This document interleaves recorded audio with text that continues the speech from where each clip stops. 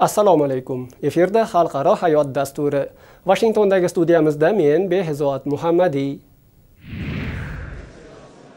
Bryusselda natoga a'zo o'ttiz davlat rahbarlari ishtirokida o'tgan xavfsizlik sammitida ukrainaga gumanitar va harbiy yordamni oshirish xususan rossiyaga qarshi jazo choralarini kuchaytirish bo'yicha bir qator qarorlar qabul qilindi. Anjumanda qatnashish uchun yevropaga safar qilgan aqsh prezidenti jo bayden nato katta yettilik va yevropa ittifoqi yetakchilari bilan uchrashib ikkinchi jahon urushidan beri global xavfsizlik uchun eng katta tahdid sifatida ko'rilayotgan ukraina urushini muhokama qildi. The single most important thing is for us to stay unified and the world continue to focus on what a brute this guy is. And all the innocent people's lives are being lost and ruined. biz uchun hozir eng muhim yagona narsa bu birdamlikni saqlab qolish. Dunyo qancha begunoh odamlarning hayoti barbod bo'layotganiga guvoh bo'lmoqda. Agar yevropa bir oy olti hafta yoki ikki oy ichida bo'linib ketadi deb o'ylayotgan bo'lsangiz adashasiz. Biz mutlaqo yakdil va birdam ekanimizni ko'rsatishimiz kerak dedi aqsh rahbari. U shuningdek putinni ukrainada kimyoviy qurolni ishga solish oqibatlaridan ogohlantirdi. We would respond. We would respond if he uses it. agar u bu ishga qo'l ursa munosib javob beramiz. Javobning qanday bo'lishi ishlatilgan qurol turiga bog'liq bo'ladi dedi bayden. Aqsh shuningdek ukrainaga bir butun o'ndan uch milliard dollar qo'shimcha yordam ajratilishini e'lon qildi. Bundan tashqari aqsh yuz ming ukrainalik qochoqni qabul qiladi. Shu paytgacha e'lon qilingan sanksiyalarga qo'shimcha ravishda yana qirqdan ortiq rossiya mudofaa kompaniyalari va uch yuz nafar rossiyalik qonunchi jazoga tortiladi.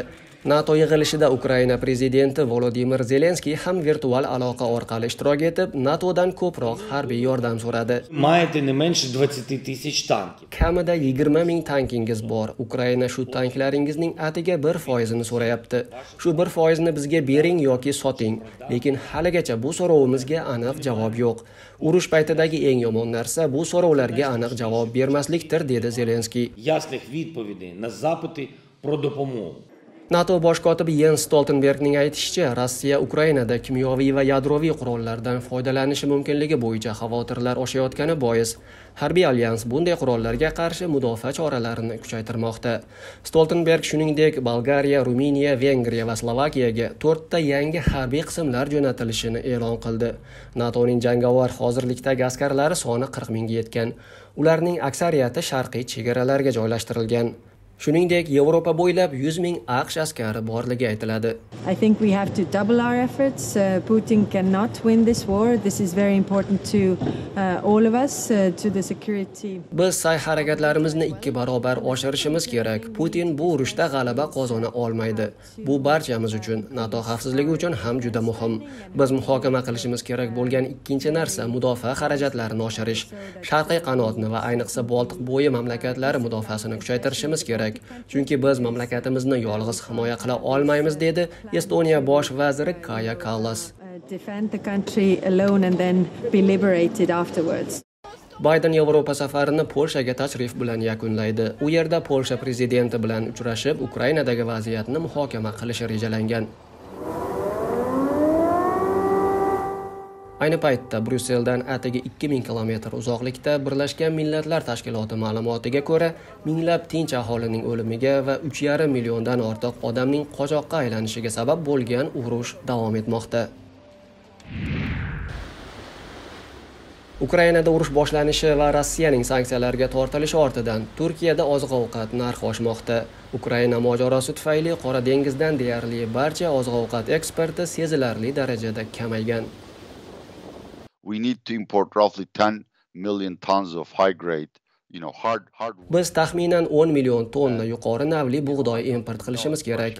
Rossiyada eksport ustidan nazorat o'rnatilganini hisobga olsak ularda buncha bug'doyni yetkazib berish imkoniyati bor yo'qligini bilmayman. Ukraina turkiyaning g'alla va moyli o'simliklar bozorida birinchi o'rinda turar edi. Endi bu bozor yo'q. Albatta turkiya boshqa bozorlardan ham xarid qilishi mumkin. lekin ular uzoqroqda joylashgani bois transport xarajatlari va narxi qimmat bo'ladi deydi turkiyalik ekspert attila yeshiloda turkiya import qilingan g'allaga qaramligi bois allaqachon narxlar o'sishni boshlagan. Toprak Mahsulleri Ofisi turkiya don kengashi o'tgan yili iyunda bug'doyning bir tonnasini 262 aqsh dollari evaziga import qilgan bo'lsa o'tgan hafta bu 456 dollarni tashkil etdi. Bu kamida ikki baravar qimmat. Mamlakat importga qaramligi ukraina urushi tufayli jahon oziq ovqat narxlarining ko'tarilishi hamda xaridlar uchun to'lov valyutada qilinishi bois turkiya og'ir badal to'layapti deydi yana bir tahlilchi ali akbar yildirim. Turkiya lirasi qadri o'tgan yili keskin tushib ketdi va hanuz bosim ostida. Bug'doy importi uchun to'lov dollarda to'lanishi qolaversa ukraina urushi boshlanishidan oldin inflyatsiya allaqachon 50 foizga yetgani hisobga olinsa vaziyat yanada og'irlashgan. Turkiyada nonushta uchun ishlatiladigan kunjut bilan qoplangan oddiy simit nonning narxi deyarli ikki baravar qimmatlashgan hukumat un uchun subsidiya e'lon qilganiga qaramay narxlarning yana oshishi kutilmoqda. Belirir. non narxining oshishi yaqin oylarda namoyon bo'ladi. Tabiiy gaz elektr energiyasi va suv to'lovlarining o'sishi bilan non narxi ham oshadi. Gap faqat un narxida emas xamirturush ham bor. U oldin 60 lira edi hozir 160 liraga chiqdi. Ustiga ustak ish haqi bor deydi ulgurji novvoy metin chelik. Maya da pahalı. Shu paytgacha kamdan kam uchragan ish tashlashlar endi turkiyada ham tez tez sodir bo'lmoqda essentially bread is the fallback option if you can't afford anything else. And I've heard uh, people from agar siz boshqa hech narsa topa olmasangiz faqat non bilan ovunasiz. Novvoyxona va un sanoati xodimlari hozir 4 lira bo'lgan o'rtacha non yoz oylarida 7 liragacha ko'tarilishi mumkinligini aytyapti. Buning ta'siri iqtisodiyotdan tashqarida ham seziladi va erdo'g'anning obro'siga ham hech qanday foyda keltirmaydi deydi yeshiloda prezident rajab toyib erdo'g'an kelasi yili qayta saylanishi kutilmoqda tahlilchilarning ogohlantirishicha mahalliy ishlab chiqarishni ko'paytirish o'rniga bug'doyni qimmat narxda import qilish davom etsa erdo'g'an saylovda jiddiy yo'qotishlarga duch kelishi mumkin And just like that, you're seeing a live view of the hatch thermal cover swinging open. Nasa fazo agentligining ta'kidlashicha rossiyaning ukrainaga qarshi urushi va g'arbning moskvaga nisbatan e'lon qilgan sanksiyalariga qaramay rossiya bilan xalqaro kosmik hamkorlik davom etmoqda. Shu hafta boshida qozog'istondagi baykonur kosmodromidan soyuz havo kemasi uch kosmonavtni fazoga olib chiqdi. Bu sayohat rossiyaning ukrainaga qarshi urushi va g'arbning rossiya rasmiylari va banklariga e'lon qilgan og'ir iqtisodiy sanksiyalari fonida sodir bo'ldi. Despite all of Bularning barchasiga qaramay biz koinotda rossiyalik do'stlarimiz va hamkasblarimiz bilan hamkorlik qilyapmiz.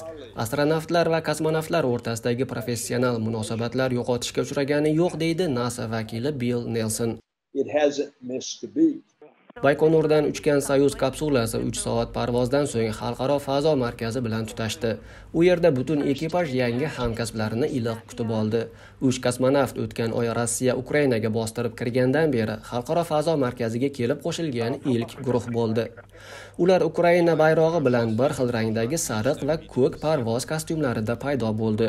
Bu qanchalik qasddan qilingani noma'lum, ammo kosmonavt Oleg Artyomovning aytishicha, har bir ekipaj o'zining uchish kostyumini tanlash huquqiga ega va ularda sariq materiallar juda ko'p bo'lgani bois shu kiyimni tanlashgan.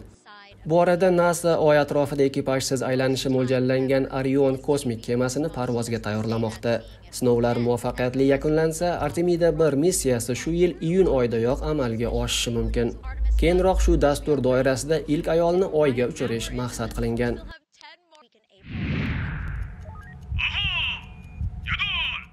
Shimoliy Koreya yangi qit'alararo ballistik raketani muvaffaqiyatli sinovdan o'tkazganini da'vo qilmoqda. Mamlakat davlat matbuotining xabar qilishicha, bu sinov yadroviy kuchlarning qudratini namoyish etish va AQShning har qanday harbiy harakatlarini to'xtatish uchun mo'ljallangan.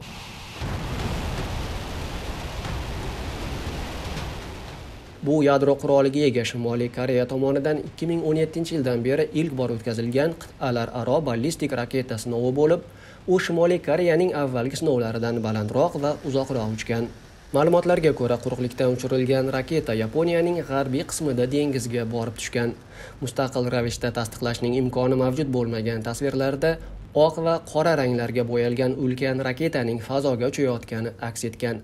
Tahlilchilar fikricha xvason 17 deb nomlangan bu qurol dunyoda shu paytgacha quruqlikdagi mobil inshootdan uchirilgan eng yirik suyuq yoqilg'ili raketadir.